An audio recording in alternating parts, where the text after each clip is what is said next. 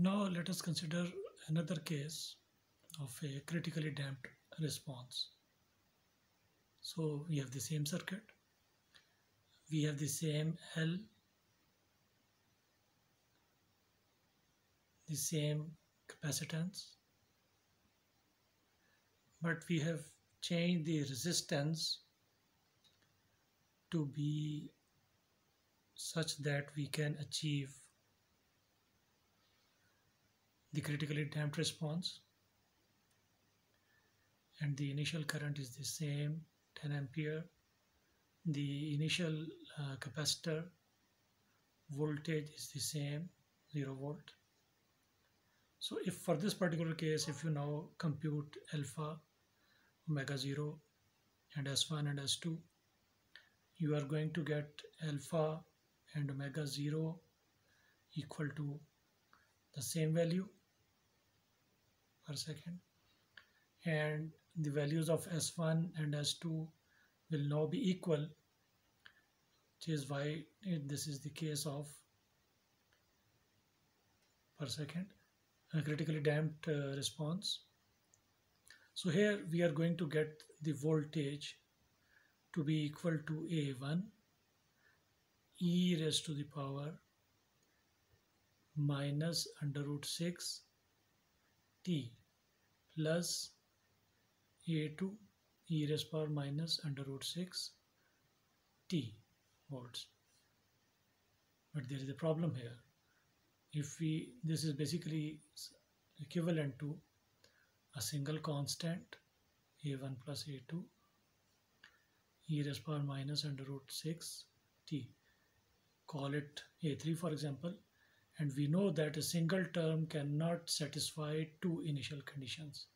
Now it cannot satisfy two initial conditions.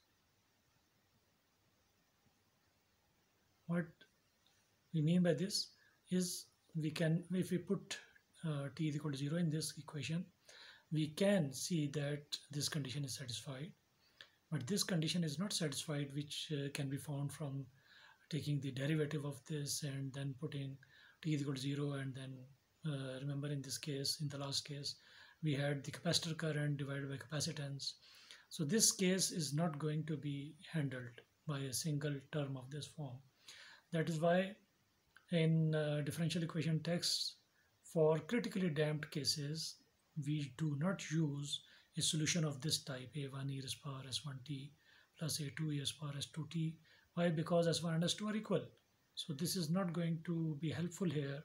Instead we need two terms which have different form. So um, coming from maths they introduce a t here. So we make this term uh, dependent on time.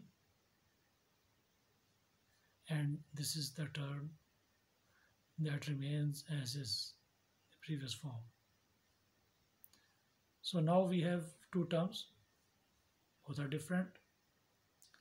And uh, again, A1 is to be found and A2 is to be found. The process is exactly the same. So if we put T is equal to 0 in this, what do we get? Voltage at 0 is 0. T0 here makes this whole thing 0. And now we directly find a2 and a2 is 0 here. So simple. It is 1 and if we now take a derivative derivative of this whole expression and then put t is equal to 0 0 plus actually we are going to get we know we are going to get the capacitor current at 0 plus over c and it would be equal to now let us take the derivative of this thing. And remember, this is a function of t, this is a function of t, a constant. So we are going to apply the uv formula. So using the uv formula, you are going to get a1 t and the derivative of this thing is minus under root 6 e raised power minus under root 6 t plus a1 into minus sorry this thing as is and the derivative of this which is 1 so e raised to the power minus under root 6 t plus the derivative of this thing is minus under root 6 a2 e raised power minus under root 6 t. So if we now put t equal to 0 here, this term is going to go to 0. This term is going to become a1 and this term is going to become minus under root 6 a2 so what do we get? This this was 10 equal to the current i 0 plus 10 over 1 over 42 is equal to a1 minus under root 6 a2 and obviously solving uh, this equation with this one knowing that a2 is 0 we are going to get the value for a1 which will be 420 in this case.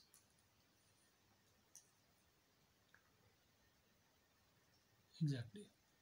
So now a1 is has been found a2 is known. So starting from this thing we now know the overall response would be equal to a1 420 t e raised power minus under 6 t volts. This is the response for this critically damped case. And we can see that this 2 is 0 when t is 0 because it has to satisfy the initial condition. And when t becomes infinity to e raised power minus infinity would be 0. So this function is of a similar kind. It starts from 0, goes to 0, so it rises to some value and then it decays to 0 again. Its form is quite similar to the case of overdamped we discussed in the last video. However, there would be a time when the value will be maximum and let us try to find the settling time for this case as well. A, a time after which the value decays to 1% or lower of the maximum value and stays low. So let us try to find for this case as well. Obviously the procedure is going to be exactly the same. That was why we did it with uh, with detail in the last video, last case. And here obviously if we take the derivative, derivative can again be taken by using the UV formula here and then finding the time for which the maximum value will occur. And let me just give you the answers. You can find it for yourself. So in 0.408 seconds it will rise to the max value. And the max value would be um, the max value would be 63.1 volts. And if you solve this again using the um, using mathematics your knowledge of mathematics or any solver on the internet or maybe uh, by iteratively solving using uh, trial and error you can come up to see that the settling time would be something like 3.12 seconds now if you remember in the overdamped case, we had the same L, CMC, same initial current in the inductor, same initial voltage across the capacitor. All that has changed is the value of resistance in this circuit. And by changing the value of resistance, we have achieved a lower settling time. In fact, without the response ever overshooting the final value. Overshooting means that it overshoots. It has to settle down to zero, but it becomes negative here, overshoots and then settle to zero. Without the response ever overshooting the output final value, this is the lowest time that can be achieved uh, for the response to finally settle to its um, final value. Again, a critically response circuit, uh, circuit, a critically damped response is such a response which has the lowest settling time for any circuit to have a response settle to its final value without overshooting its final value. We will see that in the case of underdamped response, the response is going to settle down to the final value in lesser time, but with overshooting. For example, we will see later on that it would behave such a response. It will go to some value, come down, overshoot this value, and then come back and then settle down. So now here the definition of for the underdamped case we will change a bit because it will it will not all the values all the values of response will not always be positive. It will be negative at some time. So we will we will discuss the absolute value. So without looking at the sign. So the maximum value and the time for which it becomes less than 1% of the max value will be lower in this case or it may happen that this is larger than the the mm, uh, maximum 1% uh, of the maximum value. So the settling time would have to be somewhere here. In any case either this will be the settling time or this will be settling time depending upon how how large is this overshooting case. So we will see that the lowest time to settle is achieved in critically damped circuits. However, there is a condition without overshooting the final value. This is this overshooting has another name in literature and is known as ringing. The response should not ring across the final value. Whereas in the case of underdamped, we will see later on, the underdamped response may have lower uh, settling time but with overshooting or ringing. Just as a comment, let me tell you that such damped systems are uh, not always electrical. They can be, you have definitely come across uh, damping in your life. Whenever you ride a car, the suspension system is a system that uh, that has damping in it. And it's very important to understand what kind of response is desired in a certain scenario. So for example suppose you have a car you the wheel the wheel of the car the tire of the car experiences a bump a pit or maybe a speed breaker and and the suspension basically um, uh, expands or contracts so it, it it has to go back to its original position. But how does it go to its original position?